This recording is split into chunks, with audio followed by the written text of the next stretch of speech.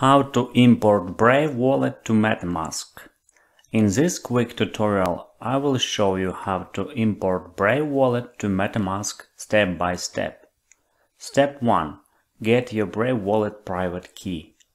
To do this on the Brave browser, click here and choose Wallet. Then click on Accounts.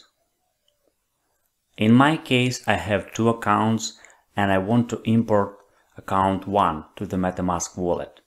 So I click on account 1 here and now click on this little pencil here and choose private key tab. There is a security warning here. Never share your recovery phrase. Anyone with this phrase can take your assets forever. So please do not show or share this private key with anyone.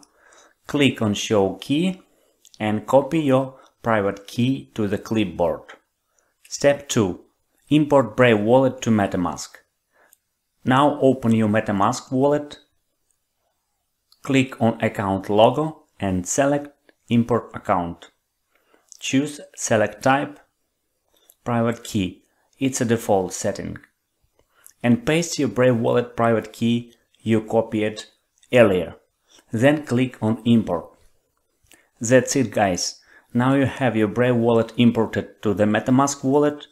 By default it will use Ethereum network and if you want to use some other networks like very popular right now Binance Smart Chain, please check my another video tutorial on how to add Binance Smart Chain to MetaMask by clicking on the image you see on the screen right now.